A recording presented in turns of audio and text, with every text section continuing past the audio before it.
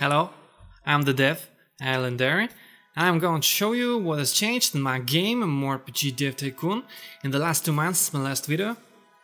Last time I talked about the new milestone I'm going to reach, in which the main characters of the players will already be created, as well as their battles with monsters within the real game world, and I almost did it.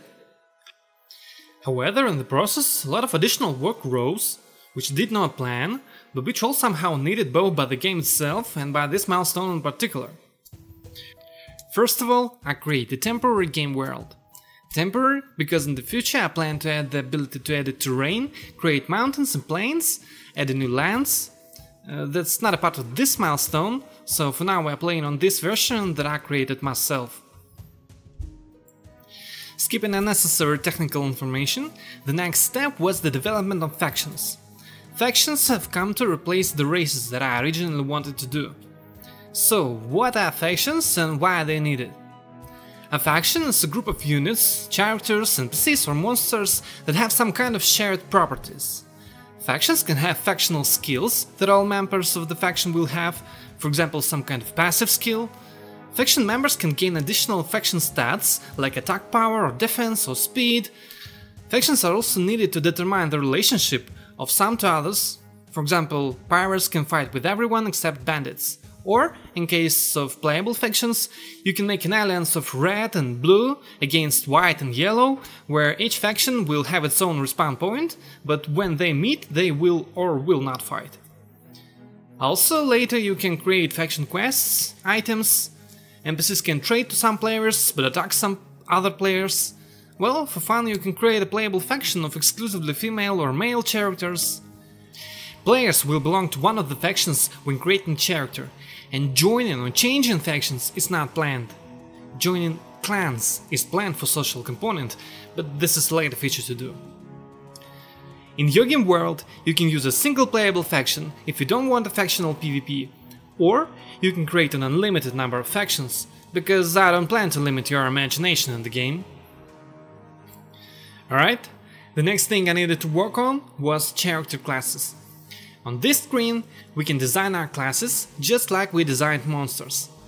We choose what types of weapon a class can own, customize its stats and skills. We can also exclude the availability of this class for some factions, as well as block any gender. The last type of the designer is the equipment that the player receives when creating a character. I didn't plan to make items in this milestone, but all the solutions without them were long in implementation and had to be redone very soon, so I decided not to waste time on useless things and expand the milestone to include items in it. I'll show the item editor in a minute, but for now I'll finish with the class screen by showing pre-prepared equipment items. On the equipment tab you can give the characters absolutely any item in any quantity. If you can use them immediately, they will be displayed on the preview screen as well as the total stats of the character can be seen in the stats tab. Let's look at the item editor now. All items are divided into 6 categories. The weapon is quite obvious, each item contains stats in a model. The equipment by default has a helmet, torso, pants, gloves and boots, but in the near future I will add the ability to create any other types right inside your game. For example, you can create slots for a clock, shoulder pads, knee pads, belts and so on, if you want so. Or remove the default ones and leave a single slot for a complete set. The accessories by default can be a ring or a necklace, but as well as the equipment types, you can add any number of new types of accessories. The accessories differ from equipment in two main ways. Firstly, they do not have a model, so you can create anything at all that the character can receive and equip.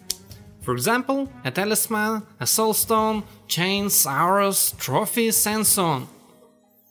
Secondly, you can determine for yourself how many items of the same type can be equipped at the same time. By default, a character can put on 2 rings, but if you want to put 20 on all of your fingers at once, then nothing prevents you.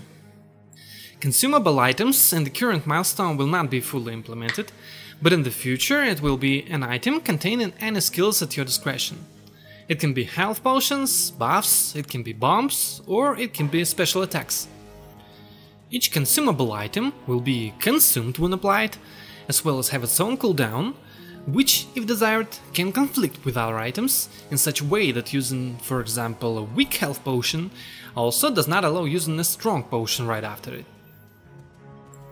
Currencies are a special type of item that can be the price of merchants.